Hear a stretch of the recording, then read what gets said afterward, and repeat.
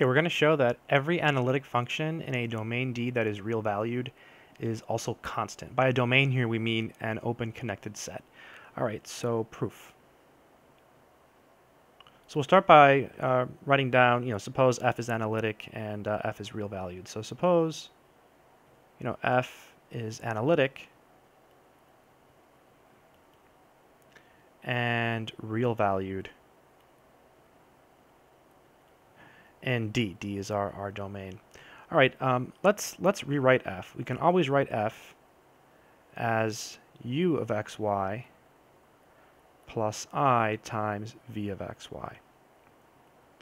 All right, now since f is real valued, since f is real valued, it means it has no imaginary part.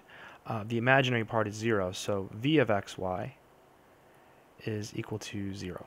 Okay. Now, since f is analytic,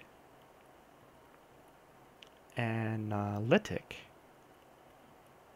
the Cauchy-Riemann equations hold.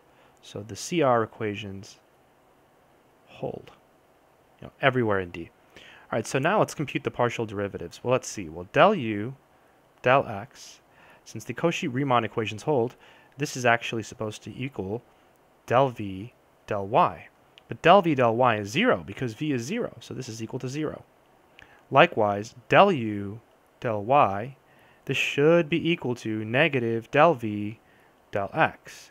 But v is 0, so this is also 0. So you have these partial derivatives, and they're all 0 in d at every point in d.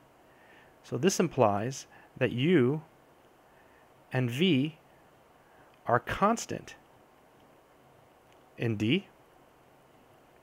And so the sum is constant. What is the sum? F is the sum. F is u plus v. So F is constant in D. Uh, really easy proof, and uh, it's kind of fun to do.